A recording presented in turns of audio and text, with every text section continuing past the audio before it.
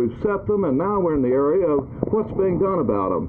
And those who must do it are, if you please, the professionals the head of the park department, the head of the medical services, the police department, and it's in that area where if we're to accomplish the goals, then we need, in effect, an annual report.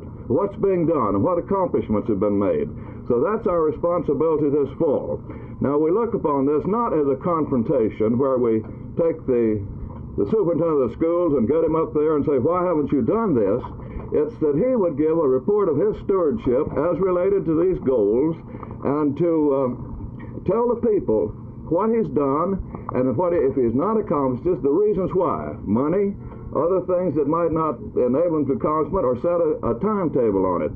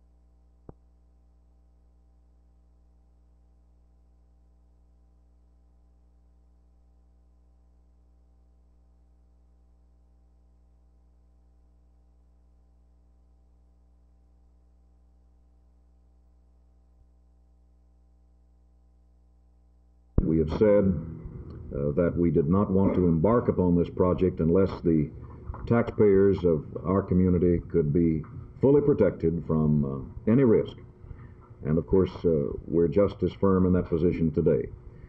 We have been unable as yet, however, to gain a tax exempt ruling from the Treasury Department for such revenue bonds. Uh, no doubt we eventually could gain uh, such approval because what we're asking is uh, only uh, right and proper. But we are running out of time, both on our option to purchase the land, we've discussed that earlier, and our hope to open the Sea Life Park by next summer and uh, to have Turnpike ex Stadium expanded for football uh, this fall.